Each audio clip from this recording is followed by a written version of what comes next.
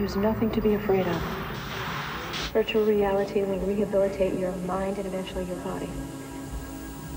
You'll be alright, I promise. Just concentrate. Okay? We'll try some music.